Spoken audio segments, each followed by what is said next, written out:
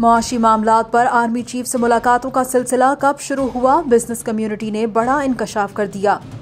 Army chief general Syed Asim Munir से कारोबारी शख्सियात की मुलाकात पर पीटीआई के एतराज़ के बाद बिज़नेस कम्युनिटी का मौकफ सामने आ गया। निजी टीवी के साथ गुफ्तगु में कारोबारी शख्सियात ने मौकफ अपनाया कि मुआशी मामला में आर्मी चीफ की मुदाखलत और बिज़नेस कम्युनिटी से बाकायदा मुलाकातों का सिलसिला मौजूदा दौर हुकूमत में शुरू नहीं हुआ, बल्कि ये सब सबक वज़ीर आज़म इमरान खान के दौर में शुरू हुआ था। कारोबारी शख्सियात के मुताबिक इमरान खान उन्हें कहते थे कि अगर आपको कोई मसाइल हैं तो इसमें आर्मी चीफ यहाँ तक के D G I S I से भी मदद ले सकते हैं, जबकि जनरल बाजवा जाती तौर पर कभी उन्हें पिंडी बुलाकर और कभी खुद उनके पास आकर मिला करते थे।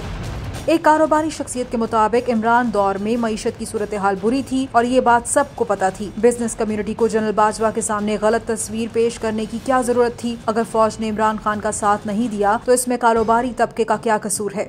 इससे कबल फवाद चौधरी ने आर्मी चीफ से कारोबारी अफराद की मुलाकात पर शदीद एतराज़ करते हुए कहा था कि इन लोगों ने ही हमारा बेड़ा गर्क किया और जनरल बाजवा के सामने मीशत की गलत तस्वीर पेंट की थी। रजीम चेंज में मुलविस कारोबारी शख्सियात को अच्छी तरह जानते हैं।